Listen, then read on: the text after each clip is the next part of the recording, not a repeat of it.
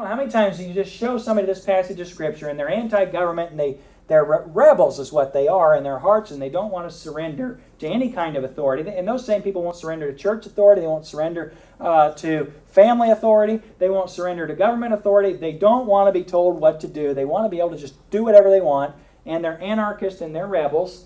And what they would say is, well, the government's not good. And you show them a passage of Scripture like this, here's their response. Well, you know, I mean, Paul, you know, I mean, he just didn't know at that time that they were going to put him to death.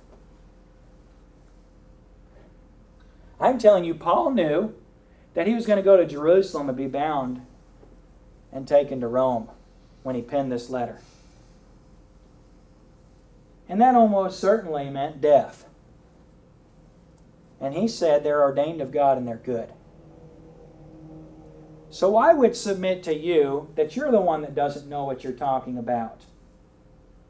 And that because this is Scripture, God's Word is correct in this matter. And if you want to agree with God and you want God to be pleased with your life, you ought to understand that He ordained government. Okay? All right. Now, God endorsed government. First of all, the government name may not be Israel, but God recognized it. And that's verses in, in verse 1. Uh, the, in the second part of the verse, God ordained government, the end of verse 1. Secondly, not only does God endorse government, He gives it His authority. Not only does God say it's good, He actually gives it God given authority so that literally, when somebody has, uh, when a prophet in Israel, for instance, would have God's authority, what could they do? They could speak and say, Thus saith the Lord. They could say, God says. And you know that those wicked officials in our government have been ordained by God to say, God says. Pastor, I just don't agree with that. The Bible's not the one that's got the problem here. Not only has God endorsed government, He gives its authority. Verse 2 Whosoever therefore resisteth the power resisteth the ordinance of God, and they shall, that resist shall receive to themselves damnation. God approved government. That's what the verse 2 says. You resist the authority, you resist God. Whereas their authority, the source of the authority for government, is God. And not only that, but the Bible says that there's a consequence for disobedience to the government. Yeah, they'll lock you up. Not talking about a consequence as you stand before God Almighty. You know, you can't be well spiritually and be rebellious toward God's institution government. I'm just telling you a fact. You can't come in, in this place and tell me, well, I disagree with this whole passage of Scripture and, and uh, so on and so forth, and we don't have to obey government. I'm just telling you, you can't be right with God. That's what I'm, t- I'm telling you, God's curse is in your life.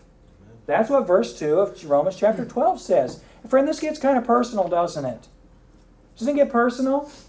Doesn't it mean that if you have a bad attitude toward the cops or the IRS or the Pastor, don't you know those they're they're wicked and they do wrong and they're they're corrupt.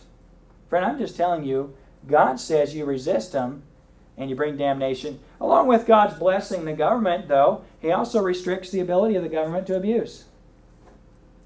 Oh, whew. That, that's our way out, right?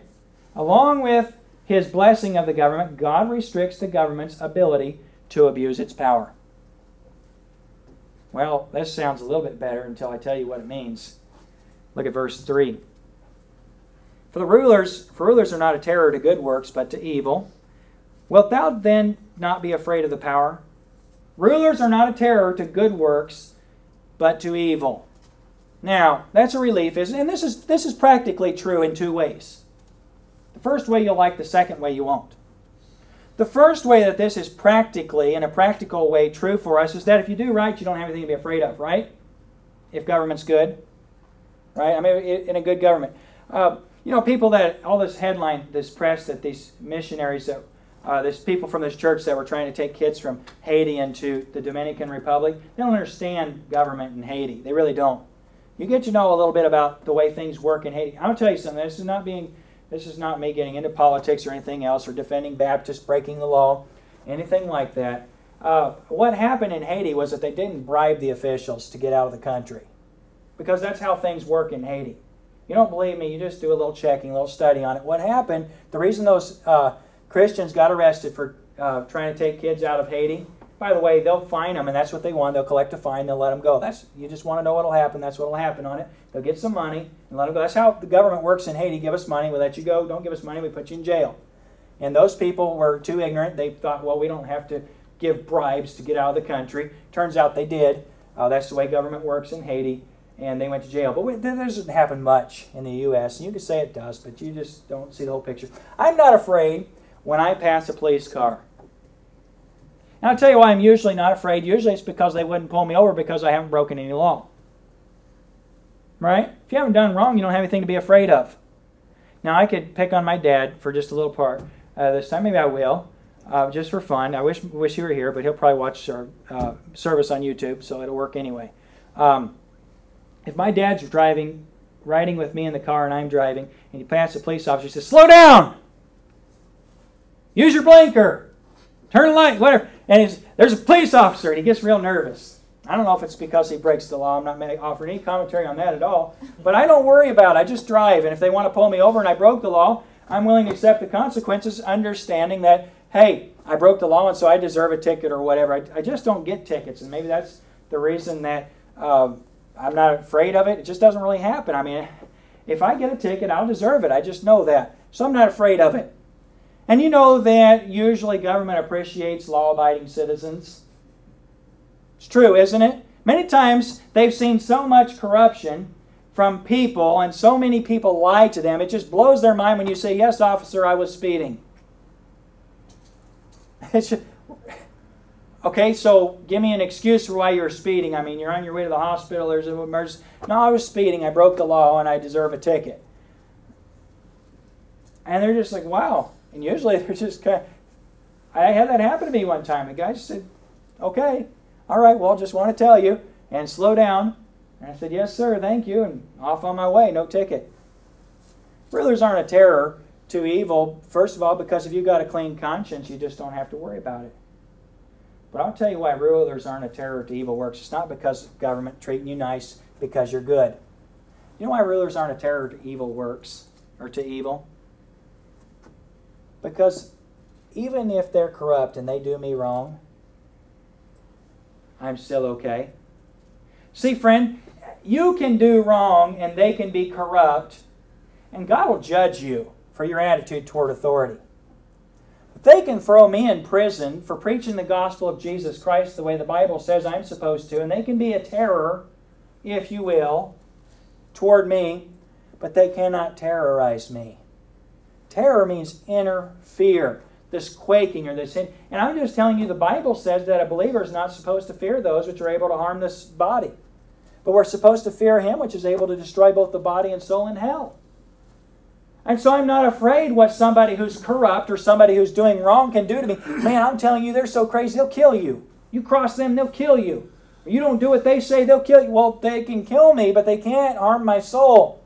And they cannot make it so that God will judge me for my behavior. Friend, I can do right, and there's nothing they can do about it, so I'm not afraid.